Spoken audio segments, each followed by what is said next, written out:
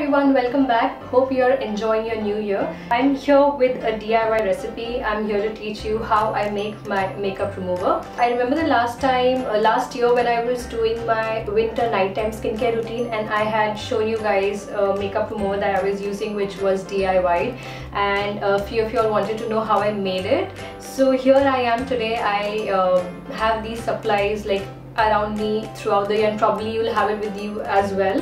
So these are something which are very basic. You will find it definitely 110% you probably have them in your fridge or in your kitchen counter right now. I came to know about this makeup remover few uh, years back and since then I have been hooked onto it. Like now sometimes I use the uh, Maybelline Total Clean and this to be very honest is the first makeup remover of my life. I have never used any other makeup remover apart from this one. And uh, this I got just to clean my lashes uh, like my falsies. And otherwise I randomly just make this like whenever I'm free. This, so the procedure is very simple as I told y'all and the ingredients are very very very basic. Y'all will find me using some essential oil like today in today's tutorial I'm using tea tree oil but feel free to use whatever you want. The essential oil part can be totally skipped like any oil of your choice. So I went for tea tree oil. I often go for tea tree oil because I have acne prone sensitive skin and that kind of checks on uh, to my oil balance also. So without talking much let's get into the video. So all you'll need for this tutorial is a clean spray bottle, good old coconut oil, some almond oil, some tea tree oil in this case, some rose water. So I'll be starting off by filling some rose water in the empty bottle and I am using almost half cup of rose water. Next to this I'll be adding almost 3 big tablespoons of coconut oil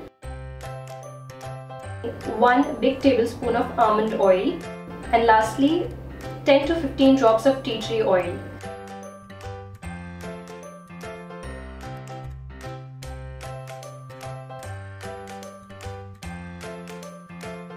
And ultimately as you can see it will create a barrier. Now this barrier is very similar to what you see in the Total Clean uh, makeup remover of Maybelline. So what you do is you basically shake the bottle wherever you use it.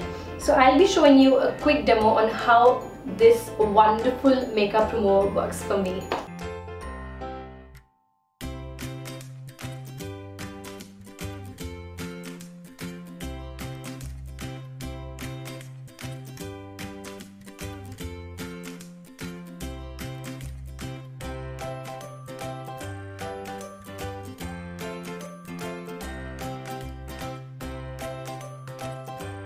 so guys that's how effective this makeup remover is. Like that's why I've been using it since I think three four years now. And it's just amazing. I love the texture and I love the uh, the essential oils that I use in it, it kind of heals my skin like the acne scars and all of those things. Now you could also add olive oil instead of almond oil or 50% almond oil, 50% olive oil. It's completely up to you.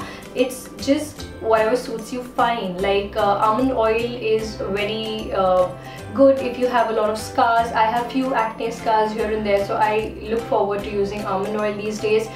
Olive oil is excellent for dry skin people. So if you have a skin which is extremely dry and parched, you could probably go for olive oil. Coconut oil acts as a carrier oil. So it's the most lightest oil and it kind of helps uh, getting the benefits of the other oil. So if you were just to use uh, rose water and almond oil or rose water and just olive oil, this would still work but it would not be as light as it feels right now. So basically you're looking out for a makeup remover which doesn't feel very oily, very greasy. If you've used the Maybelline makeup remover, you will understand the kind of texture that I'm talking about. So I'm looking forward for you all to experiment with it and let me know whether this is a fail for you or whether this is a hit like in my case and I'll be waiting for all your comments. I probably find out your own recipe like I did.